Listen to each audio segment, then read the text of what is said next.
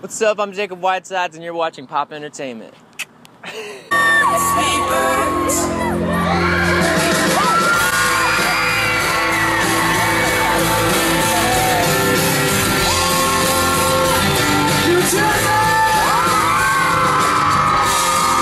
What's up? It's Maggie from Pop Entertainment, and I'm here with Jacob, Jacob, Whitesides. Oh, we said it at the same time. That was good. We're getting we're getting good at this. How are you today? Amazing. How are you? I'm wonderful. Thanks for asking. I got on a party bus this morning, and uh, it's been pretty intense. We went and picked up a fan at his house. He he won VIP tickets. I did. Have you ever seen the surprise Mhm. thing I did with Osmus? So he thought he would just won VIP tickets, and then we pulled up with a huge party bus to his That's apartment, awesome. and he got in, and we surprised him, and so was he excited? he was so excited. That's awesome. It was greatness. So last time we talked to you, you had just released your 3 a.m. EP. That long ago? That was like been a that year long. ago. How have you been since then? You look great. Thank you. I've been good. Um, I'm finally doing my own music now, which is a big improvement. and um, I have a band now, and I'm already working on my second original EP. So, come a long way, my friend. It's been we, a while. We've come a long way. We have been. So you're on the sometime la- sometime last night tour with R5. Yep. How has that been? It's been incredible. Like honestly, one of my favorite tours I've ever been on. R5 is awesome. Their fans are awesome, and you know it's just been incredible. I love it. I love every second of it. Could you describe it in three words? High energy. Bros, bros with a Z, and um, what's the third word to describe this tour?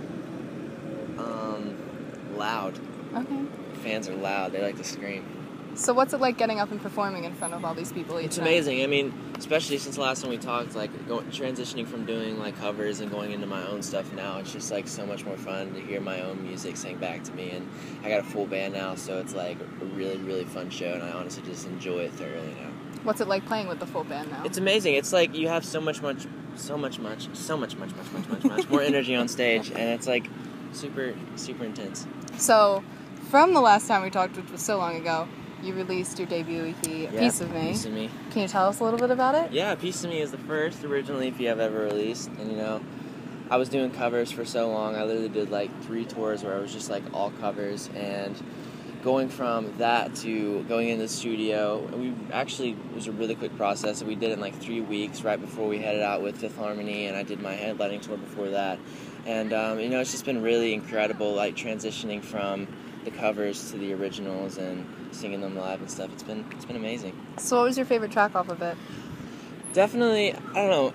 I have a favorite track that I listen to in my free time. It's probably like Billboard, but my favorite one to perform live is probably Ohio because the fans Mhm. really relate to it and um, it's super fun to sing. So Are you planning to release anything new? yes, I'm actually in the studio. I've been in the studio for a while now, working on um, my second original EP, and you're the first person I've ever told that to. So Oh, little sneak this is peek. new. So we heard you're performing at Arthur Ashe Kids Day. Yes, I'm excited. We went last year, and we're excited. We're gonna be the, there this year, so we're Oh excited gosh, to Can see we you. do another interview, please? We better. I'm if we gonna don't, be there. I'll be so disappointed. I will not perform if we don't do an interview. So since you're constantly on the road, what's a pet peeve you have about traveling? I can't stand when I have messy people on my bus and I have Mhm. to constantly clean up after them. That's my number one pet peeve because I literally go crazy. Like today, they had like streamers and balloons everywhere on the party bus. I got on there, I was like, this is not gonna work. I started cleaning up, Mhm. and you know.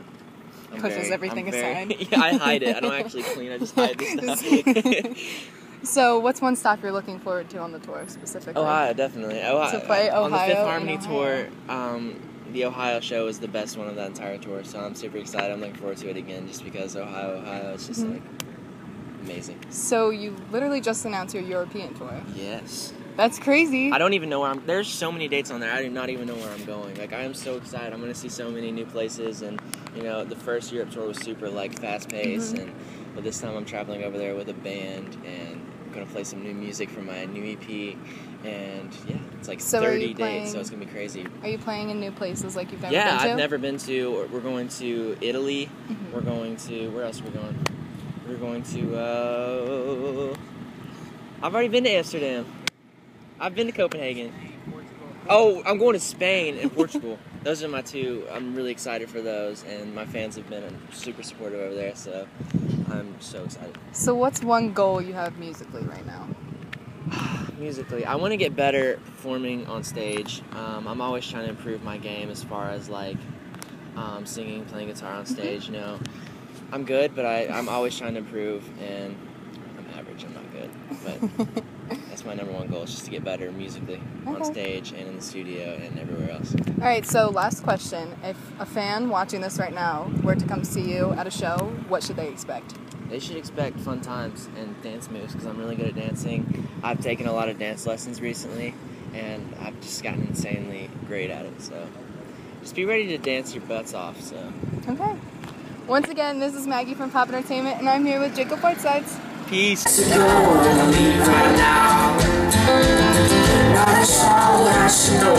I know how.